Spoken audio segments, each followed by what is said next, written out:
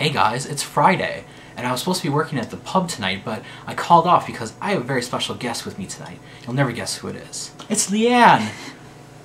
Hi! So Liane, you guys might know, is Friday on Five Awesome Girls, and she's totally made of awesome, and she's visiting from New York City. She came to see me. So we've been writing songs and hanging out and watching YouTube videos, and it's been lovely, just absolutely lovely. I love him even though you stole the idea for the channel. So we're going to show you a montage of really funny faces. Ready? Go!